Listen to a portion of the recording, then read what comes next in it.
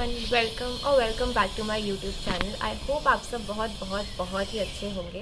तो so, आज की इस वीडियो में मैं आपको लेके जाने वाली हूँ फीफी आइलैंड और वहाँ पे क्या क्या एक्टिविटीज़ करवाते हैं क्या कहाँ कौन कौन से आइलैंड पर लेके जाते हैं वो सारा मैं आपको इस वीडियो में दिखाऊँगी। मैं अभी इस वक्त हूँ कराबी में। हमने फीफी आइलैंड का टूर अपना कराबी से ही बुक किया है।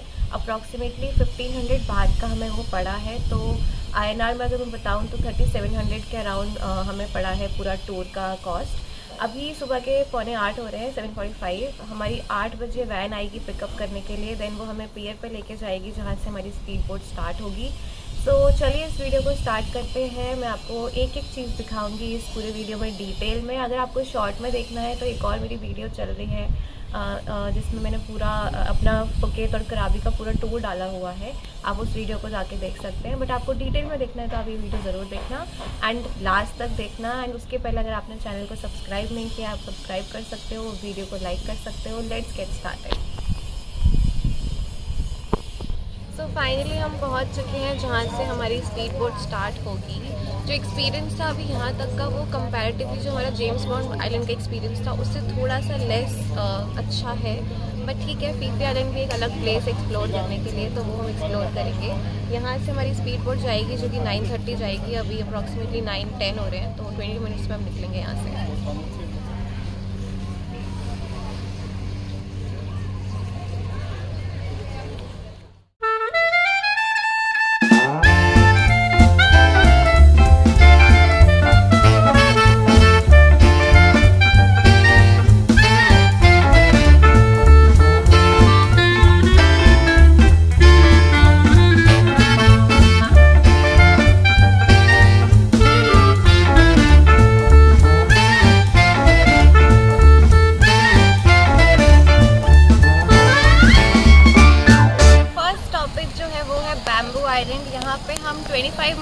रुकेंगे। तो अभी 11 एम हो रहे हैं 11:25 तक हम यहाँ रुकेंगे। एंड यहाँ की जो बीच है, वो वाइट सैंड बीच है, आपको दिख रहा होगा, सारी सैंड वाइट है। एंड जो वाटर है, वो बहुत ही क्लियर है। इतने सारे लोग हैं पानी में बट स्टिल वाटर बहुत ही क्लीन और बहुत ही क्रिस्टल क्लियर वाटर है यहाँ पे। काफ़ी सुंदर आइलैंड है यहाँ पे हम थोड़ा सा अच्छे से टाइम स्पेंड करेंगे एंड देन आगे अपनी जर्नी कंटिन्यू करेंगे फीफी आइलैंड की। बैम्बू आइलैंड बहुत ही सुंदर आइलैंड है, बहुत ही अच्छा लगता है यहाँ पे आके। एंड एक यूनिक एक्सपीरियंस होता है बिकॉज़ यहाँ की जो सैंड है, जैसा आपको दिख रहा होगा वीडियो में भी, कि वो बिल्कुल वाइट सैंड है एंड पानी बहुत ही ज़्यादा क्लियर वाटर है। तो बहुत अच्छा लगता है। यहाँ पे हमारी जो बोट है, वो 20 टू 25 मिनट्स रुकती है। तो आप यहाँ पे आके स्विमिंग कर सकते हो, आप अच्छे अच्छे फ़ोटोज़ क्लिक कर सकते हो वीडियोस क्लिक कर सकते हो। काफ़ी मज़ा आएगा आपको यहाँ पे आके। एंड जैसा मैं अपने सारे वीडियोस में बोलती जा रही हूँ थाईलैंड की कि बहुत सुंदर प्लेस है एक्सप्लोर करने के लिए बट थोड़ा सा वेदर कंडीशंस भी हमारे अगर फेवरेबल होती तो मज़ा ही आ जाता। बिकॉज़ धूप थोड़ी ज़्यादा होती है तो बहुत बैंड बच जाती है आइलैंड टूर्स पे धूप में। एंड स्पेशली अगर आप कहीं पर स्टे करते हो, कहीं पर रुकते हो हॉल्ट लेते हो तो।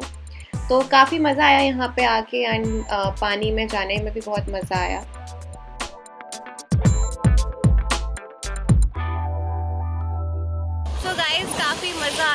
यहाँ पे एंड क्योंकि अच्छा पानी है तो पानी में जाने में मज़ा आ रहा है, और पानी में ना फिशेस भी दिख रही है, एकदम सी शोर पे ही, जो यहाँ पे जो पास में वेव्स आ रही हैं, उनके साथ साथ फिशेस भी आ रही हैं, छोटी छोटी छोटी और एक जो अच्छी सी यूनिक सी फ़िश दिखी है, मुझे मैंने कैप्चर करने की कोशिश की है कैमरा पे, अगर वो हुई हो तो।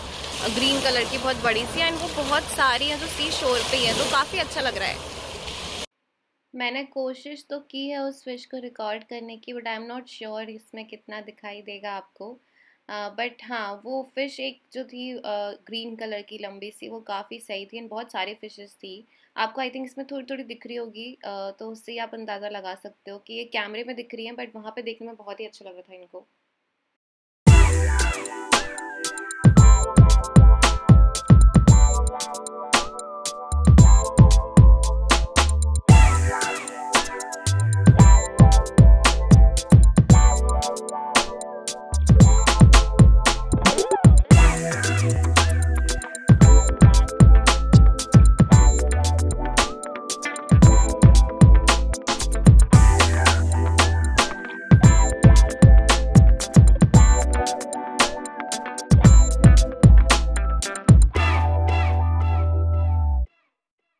आपको फीफी आइलैंड के पूरे टूर में ही बहुत सारी अच्छी अच्छी चीज़ें देखने को मिलेंगी बोट से ही।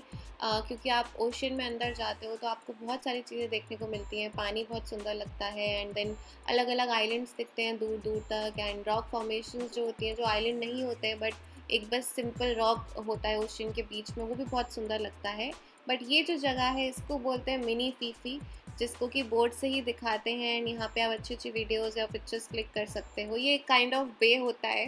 बे है जिसको कुछ लगून बे समथिंग कहते हैं। मुझे नाम इसका एग्जैक्ट याद नहीं आ रहा है बट कुछ लगून बे इसको कहते हैं। तो ये काफ़ी सुंदर लगता है यहाँ से देखने में। यहाँ पे हम कहीं नीचे नहीं उतारते हैं बट बोट से ही आप इसको इंजॉय कर सकते हो। एंड बहुत सुंदर लगता है ये।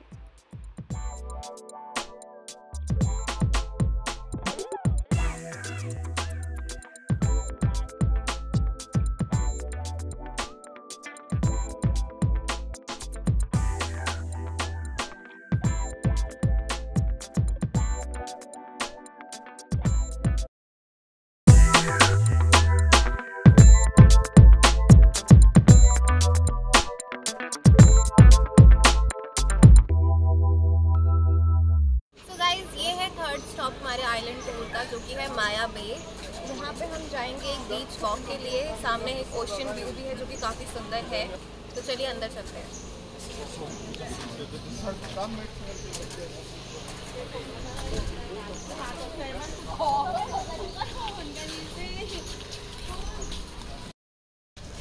एक काइंड ऑफ़ जंगल वॉक है यहाँ पे।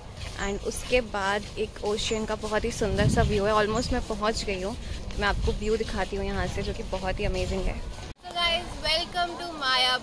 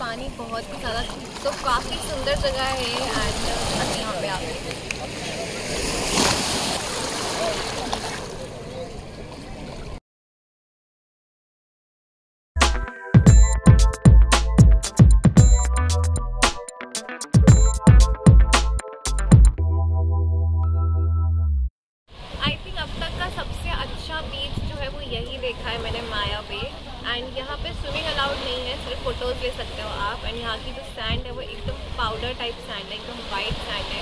काफ़ी सुंदर लग रहा है काफ़ी अच्छा एक्सपीरियंस है. व्यूज़ यहाँ से बहुत सुपर अमेजिंग है. मैंने बहुत सारे अच्छे अच्छे फ़ोटोज़ भी क्लिक कराए हैं. तो overall it's a very nice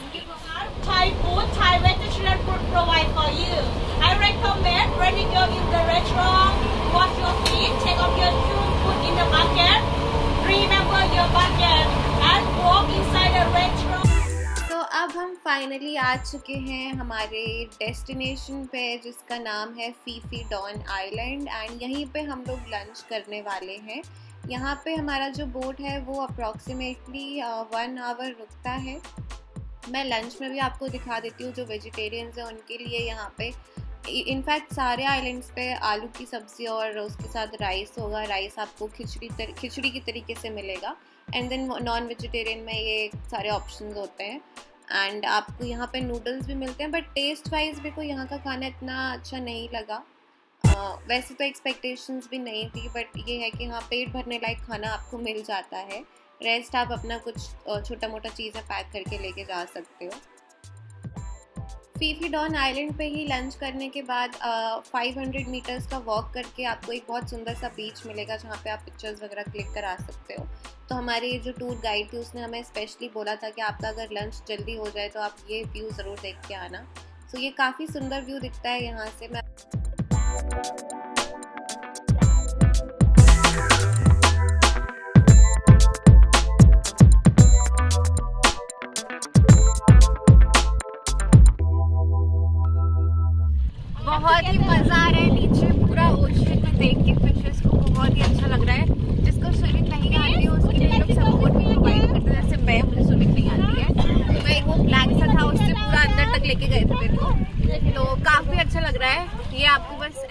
guys मेरा फीफी आइलैंड का जो पूरा टूर था, वो काफ़ी अच्छा था एंड स्नॉकलिंग करके तो बहुत ही मज़े आए बिकॉज़ मेरा, मैंने फ़र्स्ट टाइम किया था एंड बहुत ही अमेजिंग था। जिन लोगों को स्विमिंग नहीं आती है तो वहाँ पे जो हमारे जो हमारे साथ गई थी, हमारी गाइड वो उसको स्विमिंग आती थी तो उसने हेल्प की हमारी एंड काफ़ी दूर तक लेके गई थी, काफ़ी मज़े आए स्नॉकलिंग करने में।